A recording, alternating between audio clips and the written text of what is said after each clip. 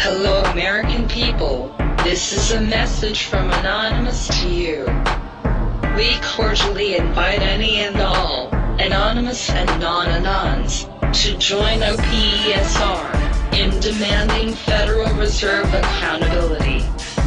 We are crafting a class action lawsuit against the Fed. Can you provide legal and research support? Please respond submitting a type with .me pad to one of our connectors in Anonymous. If you can help us, get in contact with one of our connectors by logging into our public chat area at a99.fss34.com. This is a class action lawsuit against the private Federal Reserve Bank and its shareholders.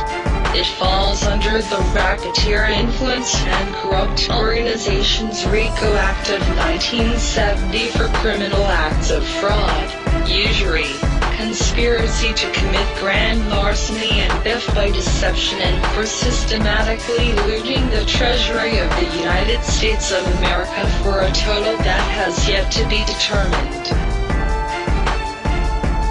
For nearly 100 years, the Federal Reserve Bank has debased and devalued our currency by illegally authorizing an odious debt to be encumbered by our citizens without their knowledge, or in any way for their collective benefit.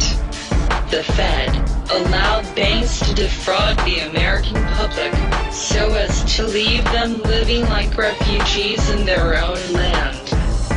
This ruthless cabal now has the temerity to pass off this odious debt to the American people, thereby destroying not only our future, but America's ability to be a free, sovereign nation. The U.S. Constitution says we have to go against domestic enemies. The Fed allowed this crisis to happen they allowed banks to kick you out of your homes to pay their bills. The Fed allowed people to live on the streets, hungry. And the Fed got paid for it. Yes, they got paid for it.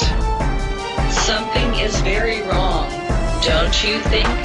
So, are you going to stay seated in front of your TV, PC, or whatever and let them do whatever they want?